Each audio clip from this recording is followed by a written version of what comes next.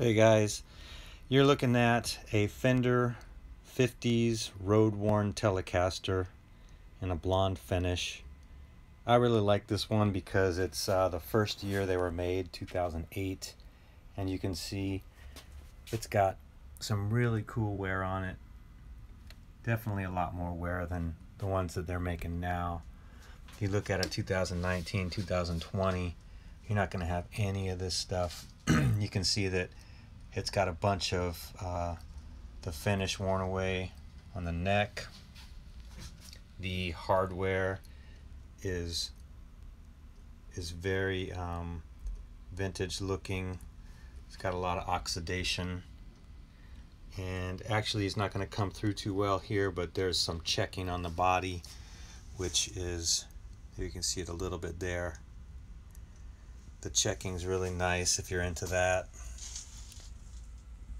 so this guy is ready for setup. Just polishing these frets up real quick. Gonna polish the frets and change the strings. But I won't be polishing any of the hardware on this. Just makes no sense to me. You got a road worn. Why I'd wanna go and try and shine up all the hardware on here like I might do on other guitars. After all, you're going for a road worn relic look with these guitars. So I just leave the hardware alone.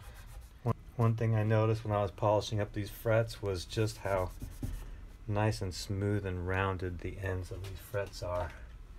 And believe me that's not always the case especially with road worns because the necks don't have hardly any finish on them you tend to get fret sprout more often.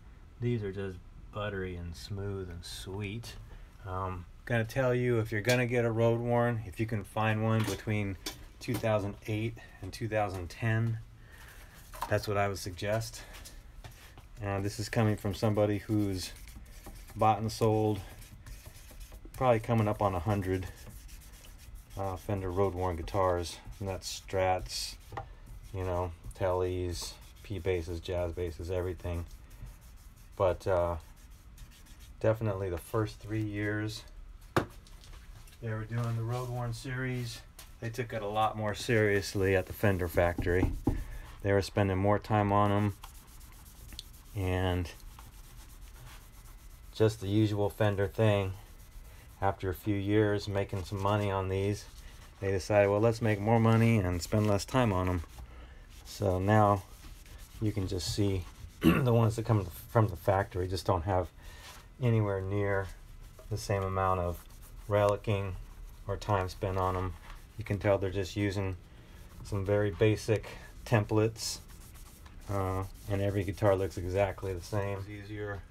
Got that capo on the first fret. We'll keep the strings kind of in place.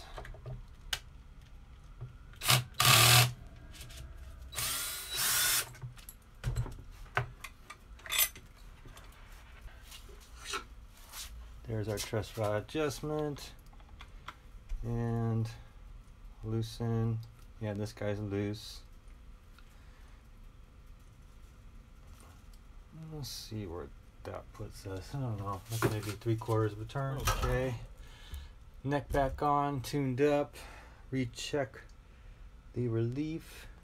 And I can just fit 0.006 it looks like.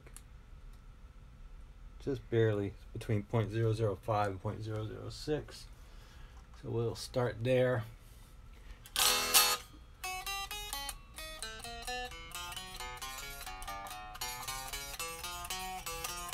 A little bit of buzz there. Probably the action might be a little too low. Yeah. So our action's down below 050 I should bring this all up a tiny bit and then go from there so I will just use the little slotted screwdriver. Take all these up a tiny bit. I like to get them at a little bit of an angle on the ends. That way the strings kind of follow the radius of the neck. Okay, tuned up. Down low, no buzz happening.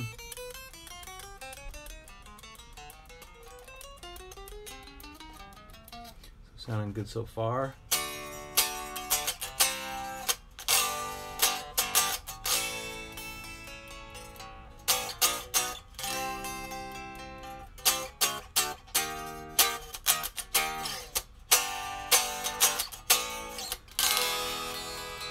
So far it seems like this neck's liking where it's at.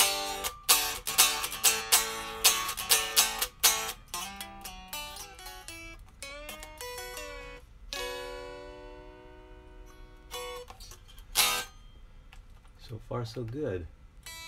got pretty low action and uh, playing good all over the neck so far.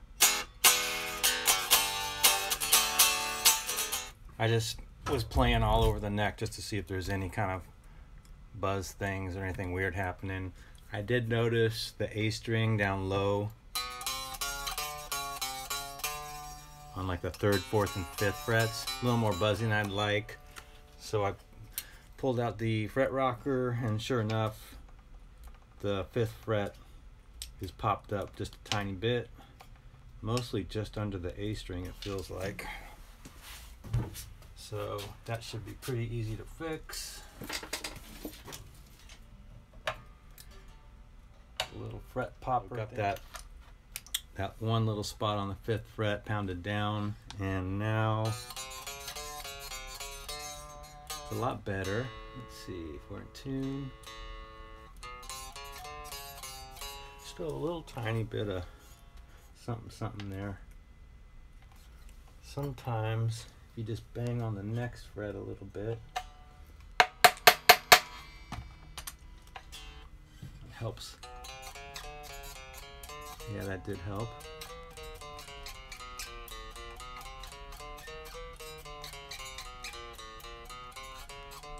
Pretty buzz free now. Okay, this thing's playing great.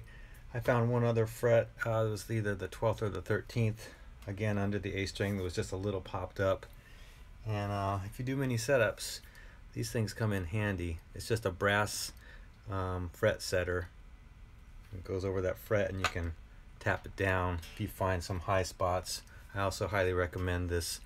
Um, it's like a neck rest that you can get from StewMac.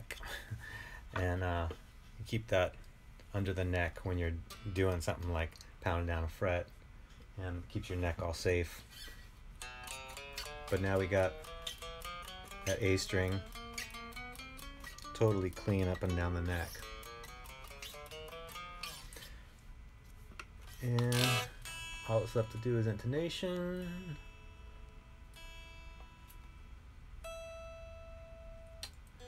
Hi-U was right on.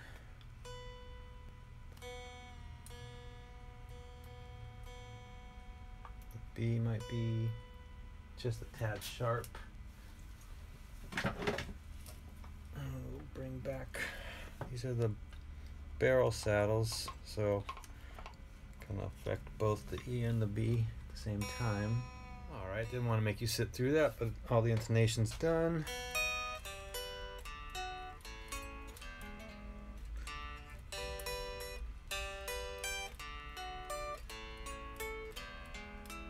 Sounded pretty good.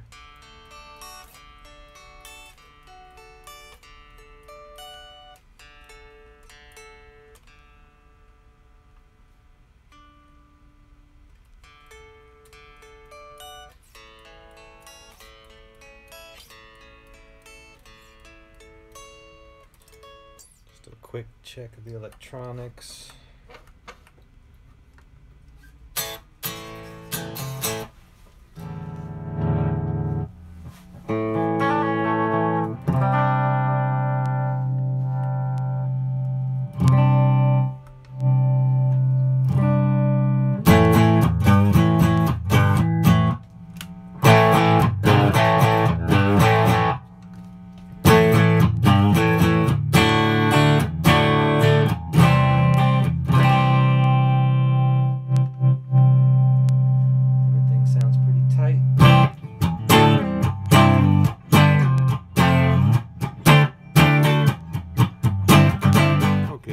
Summarize what we did in this setup, string gauge is 10 on this telly.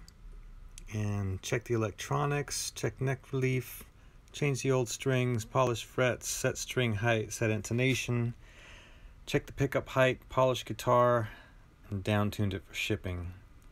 String height ended up at 0.060 at the 12th. Neck relief is 0.006 measured at the 8th.